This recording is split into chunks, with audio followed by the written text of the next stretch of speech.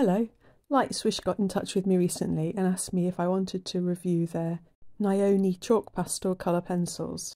So I've had a bit of a play with them the last couple of days. It's a set of 24 and comes in a really nice quality sturdy tin. And I'd say that this set is most suited to portraits. There are two trays inside which have little elasticated handles and which reminded me of Faber-Castell's Polychromos pencil tins. I think they're quite pleasing looking pencils with wooden barrels. They're smooth and feel quite nice quality. They don't have a colour name on the barrel, but they have a colour number and a Lightfast star. The Lightfast system goes from 1 to 5 stars. There are two pencils in the set with one star, the orange and the purple. There's one 2 star, four 3 star pencils, and the rest are 4 and 5 stars. I'm just swatching them out here on watercolour paper, mainly just so I can look at the colour of them. I'm not super familiar with using pastel pencils, though I have got a 24 set of Derwent ones and one single Caran d'Ache. My first impression of these Nyoni ones were that they laid down quite nicely. There wasn't any like scratchiness or grittiness in them. But I didn't think they were as soft as the Derwent pastel pencils, and definitely not as soft as the Caran d'Ache.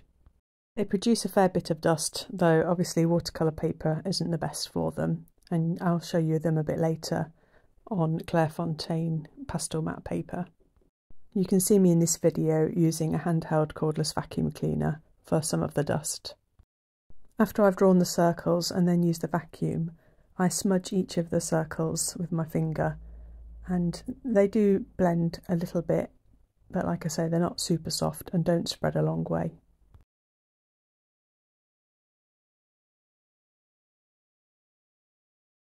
There are some really lovely earthy natural colours in this set and as I said before I think it would be quite good for portraits and maybe animal drawings. But it has less of a good range for doing landscapes as there isn't much choice of greens or blues. And it doesn't have what I'd call true primaries. Other information on them which the company sent me are that they're non-toxic, acid-free and have a 4.2mm core. It also says that they're richly pigmented and lay colour down evenly, and I did think that this was the case. And also that they're break resistant. I sharpened quite a few of the pencils during the course of the picture, which I do later in the video, and none of the leads broke and they all sharpened to a good point, so I didn't have any complaints there.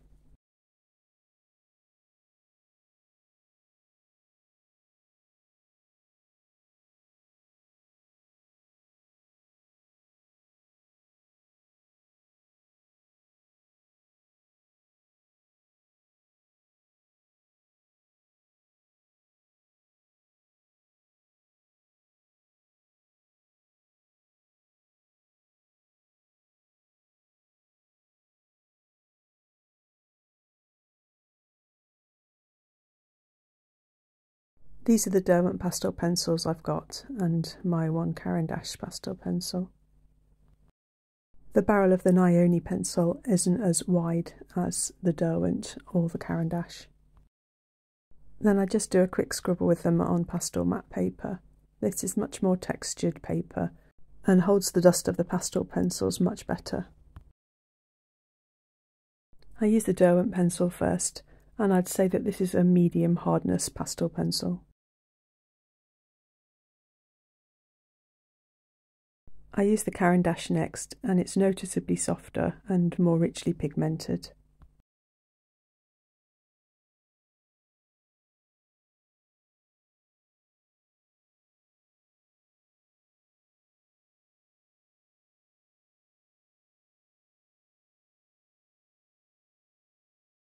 And then this is the Nyoni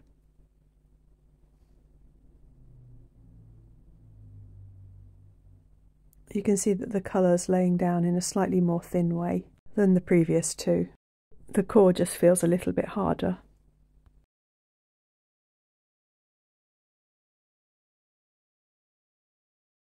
I then try out some white pastel pencil in the respective brands on top, though I don't have a white Caran.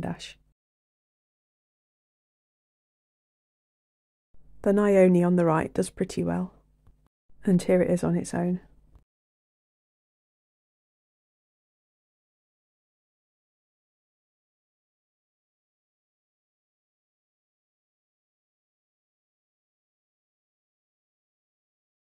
Next up I decide to do a full picture using the soft pastels as the base and then the Nyoni chalk pastel pencils on top for the details. Here I'm just sketching a rough outline of the picture with a Nyoni pencil. This is done on Clairefontaine Pastelmat. I did my first picture in pastels last year in a small sketchbook. Um, I did a picture of my dog, which I'll link to down below. So this is my second pastel picture and my first time of using Pastelmat for a picture. I've got a few different soft pastels which I'll use for the first layer of the drawing, including this landscape set from Unison. Usually I tend to use soft pastels for adding details on top of watercolours or other mixed media pictures. So I've got these Jackson's soft pastels as well, which I chose and put together into this set. And then I've got these slightly harder Rembrandt ones.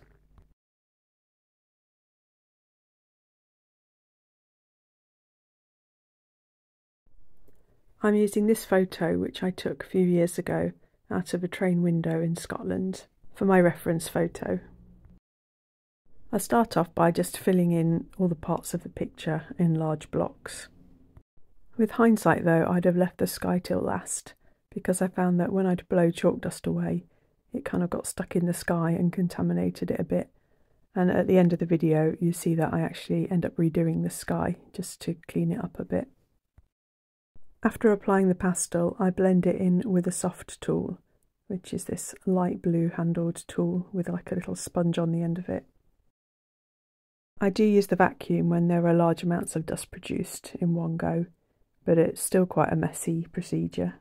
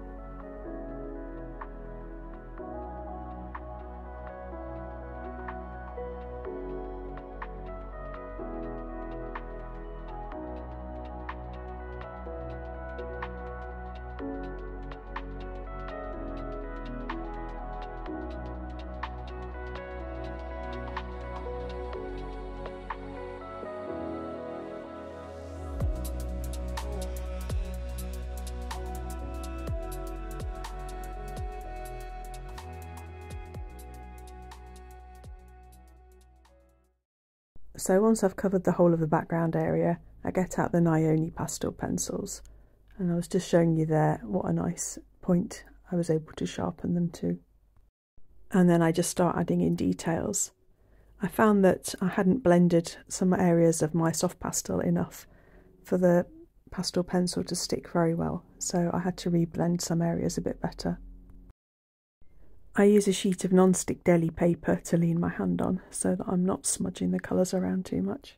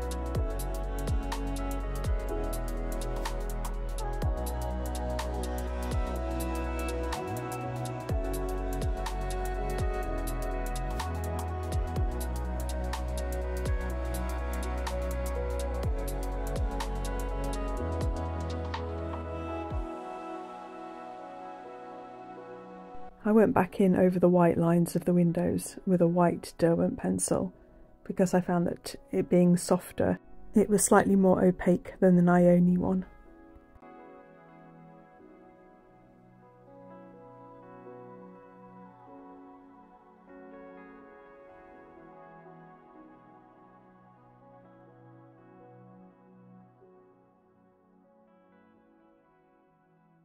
You can see that in some places as well I also go back in with soft pastels.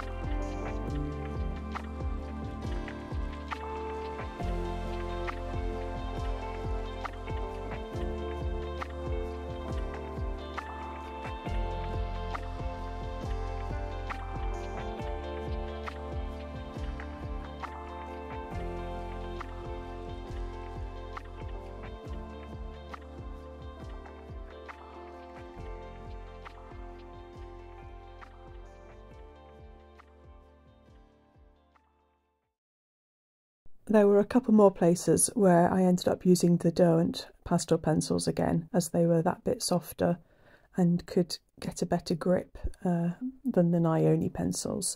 But overall, I thought the Nyoni pencils were fine and quite enjoyed using them. I definitely liked using the Clairefontaine Pastelmat paper. I thought it had great grip for the soft pastels. I'm not going to lie though, and this is not a reflection on any of the materials that I've used today, but I actually think I find pastel drawing really boring. This picture took about an hour and a half altogether, but it wasn't really a process I enjoyed, and I had to keep taking breaks because I got fed up. I definitely will use soft pastels and pastel pencils again, but I think I'll prefer using them over watercolour or as part of mixed media paintings. As always, I hope there was something in here of interest to somebody, and thank you very much for watching. Bye!